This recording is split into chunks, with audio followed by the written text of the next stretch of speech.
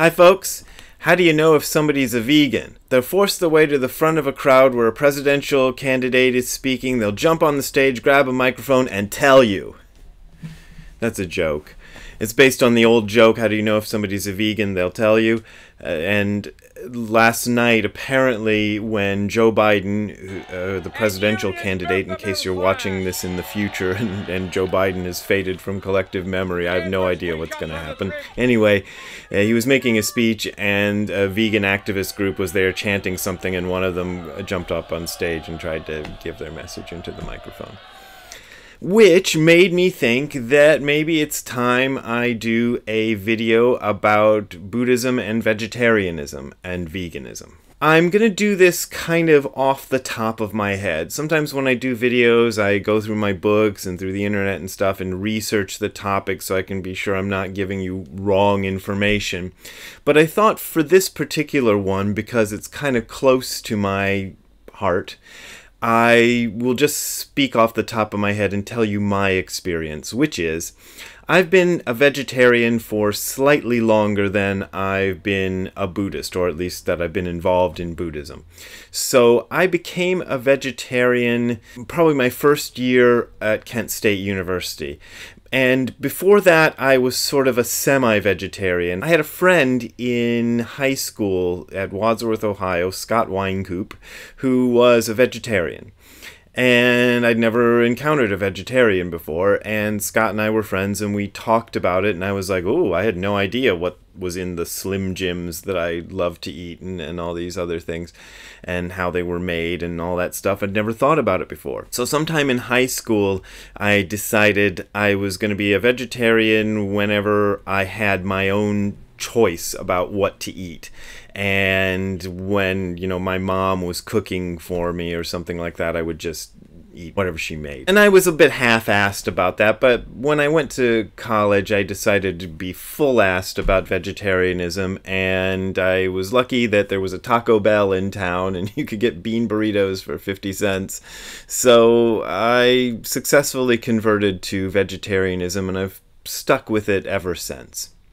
Now, a lot of people think that Buddhists are vegetarians, but that's not the case there is no sort of rule in Buddhism that you need to be a vegetarian.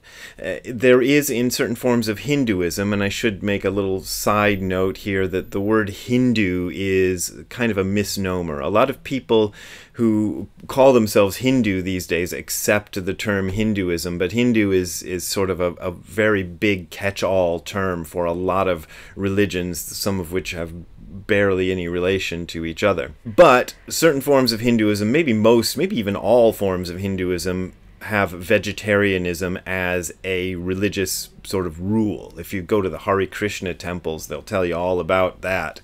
Uh, I got an earful from them, uh, and I was already a vegetarian, so I didn't need it. But anyway, as for the Buddhists, though, the common practice in India in Buddha's day, and probably I assume to this day, was that religious people were generally vegetarians. So when people joined the Buddha's order, they expected that part of joining the Buddha's order in ancient India meant they were going to be vegetarians. But the Buddhists also lived by begging. So they would carry these bowls around and beg for food, and whatever was put in the bowls was what they got to eat. And some of these newly minted Buddhist monks, who may have been vegetarians before they became Buddhists, asked the Buddha, What should we do if people put meat in our bowl? Because not everybody in India is a vegetarian. And the Buddha said that unless you have reason to believe that the animal that you're being served the meat of was killed specifically for you to eat, then you should accept it. So I suppose that meant that if you thought the animal was killed specifically for you, you should refuse it. I, it's not really phrased that way, but it's said to accept it. Japanese Buddhists don't tend to be vegetarians. The standard for a temple is that temples and monasteries serve only vegetarian food, and this is called shojin ryori. And shojin ryori is actually you can go to restaurants. There's one in downtown LA or, or in Little Tokyo anyway that has uh, it's called shojin and serves shojin ryori. Ryori means cuisine, and shojin is is I'm not sure what that means. I'll look it up and maybe I'll put a, a link below that'll say what it is. But it's it's uh, based on temple food that that Buddhist monks would eat. But not all Buddhist temples are vegetarian, and this is something I found out early on in my practice with Nishijima Roshi. We would go every summer to have a retreat at this temple called Tokein in Shizuoka Prefecture, where Mount Fuji is. And the they'd serve like a bowl of food. They did food oryoki style. Maybe I'll do a whole video on oryoki, but you get three bowls and, and you just get what they give you. And the uh, one of the bowls always contained a sort of main dish and I'd be eating these main dishes going, this tastes like there's some hamburger in here. And, and sure enough, there was hamburger in it. Uh, they often would just uh, make uh, a kind of a sauteed vegetable stew, but they'd throw a little bit of hamburger and maybe some chicken or whatever in it, you know, whatever they had on hand. And that was what you got. And when I was with Nishijima Roshi, I just decided, well, I'll follow that, you know, early Buddhist way, and I'm just going to eat what I get served here and you know, I don't really like it, but it's fine. When Nishijima Roshi gave me the task of leading those retreats at Tokein, I actually, one of the first retreats that I was the leader of, I went into the kitchen. Uh, actually, I think I, I talked to them before the retreat and said, Look, could you just leave out the meat when we're on retreat. And they're like okay sure. And and it was fine and, and we had meatless retreats from then on. But it's not the you know it's not always the standard thing. At home my guess would be that most japanese buddhist monks probably are omnivorous. You know some of them might be vegetarians but i, I would guess most of them just uh, eat whatever. I once had a conversation with tim mccarthy who was my first buddhist teacher about this. And he was what he liked to call a semi vegetarian, which he would say was kind of a joke because being a semi vegetarian is like being a celibate who sometimes has sex, you know. But uh, he did it for health reasons. He had some allergies and things, and uh, the only way he could get a balanced diet was to have some meat, although he would have preferred to be a vegetarian. That's what he told me. But he told me about conversations he would have uh, with people about vegetarianism, and, and they'd say, well, a carrot is alive too. And Tim's answer to that, which I've been using ever since, is I think pretty brilliant. He says, Well, yeah, a carrot is alive too, just like a cow. But if you say that there is no difference between the life of a cow and the life of a carrot, then you might as well say that there's no difference between the life of a human and the life of a cow. And we do make a distinction. So I think that is a reasonable distinction to make. Yes, if you're a vegetarian, you are still killing things to live. And even if you are a vegan, you are still killing things to live. There's all sorts of stuff that goes into food production, and you can't really help it, especially in today's mechanized world, unless you're just going to go out and grow your own food. But, but you're still pulling carrots out of the ground, pulling potatoes out of the ground. There's all sorts of things there are people who try to get around that by being fruitarians, you know, so they'll only eat fruit that comes from a tree where the tree remains alive or the vine remains alive, the plant itself remains alive, and they eat just part of it.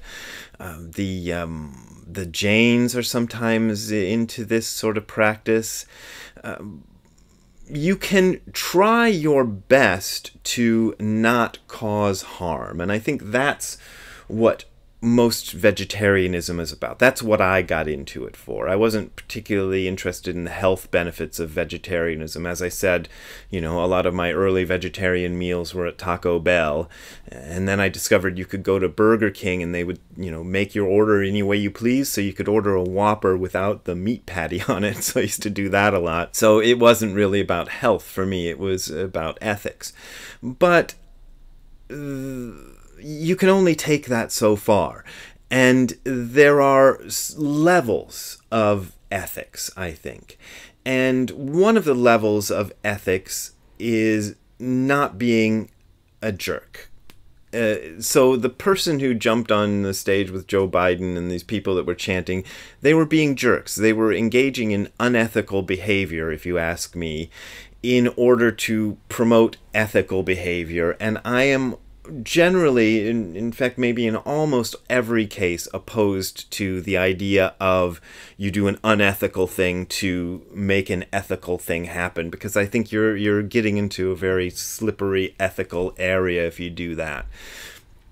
So I think the Buddhist idea of just accepting whatever food is offered to you is really the best way, and that's the best sort of example of how Buddhist philosophy views these things. It's unethical to kill a cow to eat it, they would probably tell you, but it's also unethical to refuse food that has been offered to you out of somebody's kindness. Now, in my own case, I I'm pretty much you know I stick to the vegetarianism thing, and mostly it's out of habit these days because I feel like eating meat is a very gray area and the sort of ethical fervor I had when I first got into vegetarianism has pretty much gone away. But by now I haven't eaten meat in so long that the idea of eating a piece of meat is is pretty gross to me. Like if you told a normal meat eating person, like, here's this dead rat I found in the road, it doesn't have too much rot on it. Why don't you eat it? Uh, that's what I feel like if somebody offers me a burger. You know, I'm just like, I don't want to put that in my mouth. Okay, I just really don't want to. So that's why I stick to vegetarianism because I just can't. I can't deal with the idea even of, of eating a, a piece of meat. But you know, my girlfriend's not a vegetarian. My family, none of them are vegetarians. My ne- uh, niece was a vegetarian for a minute, but she gave it up. You know, so I'm often hanging around people who are not vegetarians. Before I moved to Japan, I was the kind of vegetarian who would be like, is this cooked in lard? You know, is there gelatin in this thing? You know, and, and uh, you know, getting really picky about the ingredients. When I got to Japan with the language barrier and the cultural barrier and all that stuff like that, I, I tried to do that at first, but I realized it was a losing battle.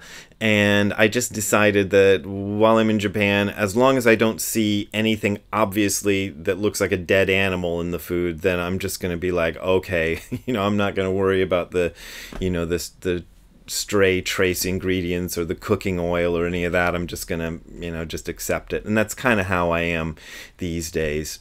I've thought about becoming a vegan, but I I travel a lot and I realized that being a vegan would make me even more of a pain in the ass to my hosts than I already am.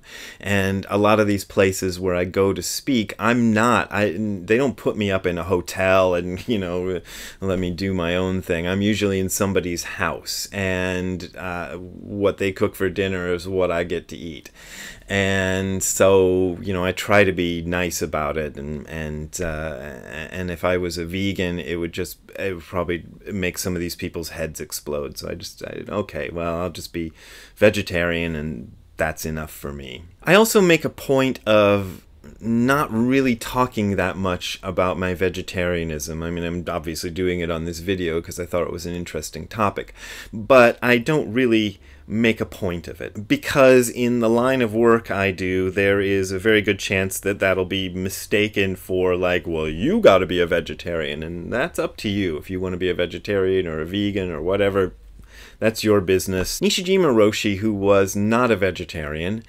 once had a discussion with me about this because I was saying to him, "Well, should I give up being a vegetarian because I notice you're not, and it's not, you know?" Uh, and he said, "No, I think it's good uh, that you're a vegetarian, and I think you should stick with it."